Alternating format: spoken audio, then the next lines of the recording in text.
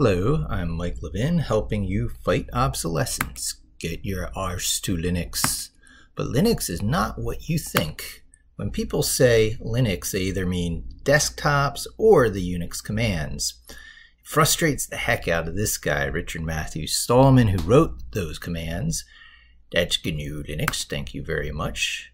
Desktops don't matter, because when you learn one desktop OS, you learned them all. They're just syntactic sugar.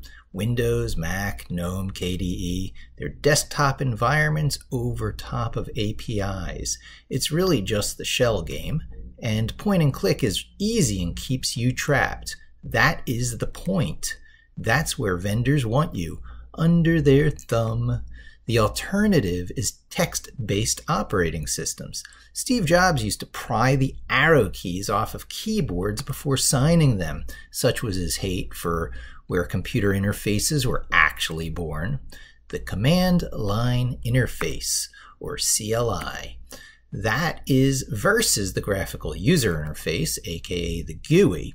He convinced the world that the old ways were to be avoided, fanning the flames of fear, and so made the CLI a secret weapon for the rest of us who could face our fear. Let it wash over us so that only text remains.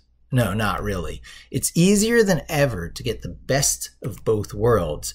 GUIs are great for games and visual design software, but by the time you put in your 10 years to master some GUI software, the whole platform will be gone. Graphical software is uniquely tied to the platform and trends of the day, whereas text is eternal. So hedge your bets simply by switching your CLI to Linux. Currently, you've got MS-DOS and PowerShell by default. It only takes a few minutes to switch your CLI to Linux. You don't have to give up anything. Stay on Windows, Mac, or whatever. Just start using the Linux command line. It's Unix if you're on the Mac, aka the terminal. Uh, but don't worry, it's not terminal. It'll just feel that way at first as you take up the preferred text editor. Vim. It's older than you are, and it'll be around after you're gone. VS Code has maybe 10 years before new realities set in and topple it.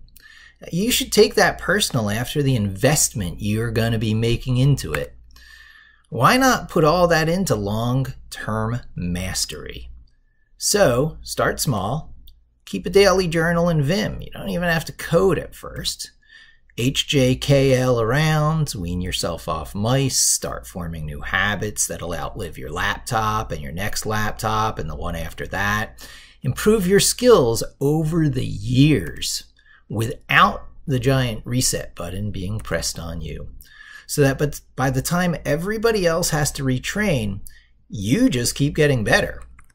Enjoy your resistance to obsolescence this happens by making CLI your new home.